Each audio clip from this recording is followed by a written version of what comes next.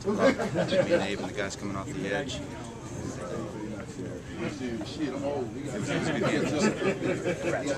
Corey, uh, spoke about struggling early in that game where uh, you- you're you're in bad position with the interceptions and you guys having to hang tough and, and force them to field goals.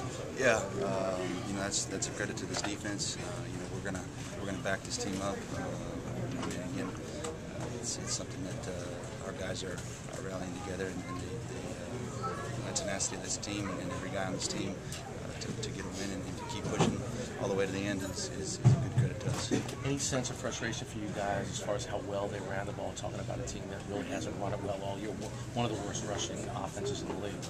Well, you know, it's, it's something uh, we got to really look at on film. Uh, I think there was, there was some assignment errors, uh, but you know, we'll check it out on, on tape. And, and again, you know, we got to stop the run, uh, you know, in order to win. And, and uh, we got to get better at that. Talk about the play uh, where Babineaux scores and, and seemed like pretty much everybody kind of quit on it.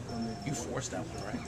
Yeah, it was it was me and Abe. I think Abe hit him first, and, and uh, we both kind of hit his arm at the same time. I think they might have gave it to Abe, but uh, you know, we got it out. And, uh, it was a fumble, and, and Babs picked it up. I got a block for him and, and got him in, so it was it was a good deal. Did it seem like time like froze for a second or two or did, more? Yeah, yeah, it kind of did a little bit. You know, it's, it was one of those plays where it could have been an incomplete pass or a fumble right on that line. You know, that's a fine line, and uh, they ruled it a fumble, and, and uh, we got it in. So.